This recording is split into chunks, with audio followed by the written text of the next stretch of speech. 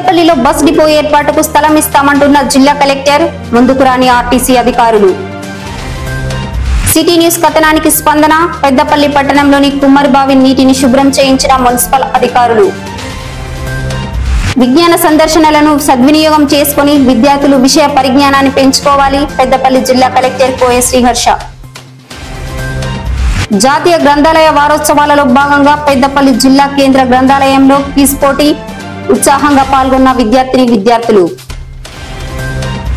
పెద్దపల్లి పట్టణంలో అక్రమంగా తరలిస్తున్న రేషన్ బియ్యాన్ని పట్టుకున్న టాస్క్ ఫోర్స్ పోలీసులు. పెద్దపల్లి మున్సిపల్ కమిషనర్కు తెలంగాణ రాష్ట్ర ముస్లిం సంక్షేమ సంఘం నాయకుల వినతి పత్రం చందపల్లి ఇందిరమ్మ కాలనీ వద్ద మసీద్ కోసం స్థలం కేటాయించాలని విజ్ఞప్తి.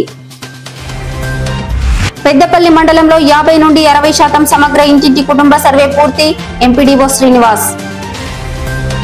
పెద్దపల్లి నుండి తురకల మద్దికుంట వరకు రహదారిని ఆనుకొని ఉన్న వ్యవసాయ బావులతో పొంచి ఉన్న ప్రమాదం ఆర్ఎన్బి అధికారులు స్పందించి రక్షణ చర్యలు చేపట్టాలంటున్న వాహనదారులు గ్రామస్తులు.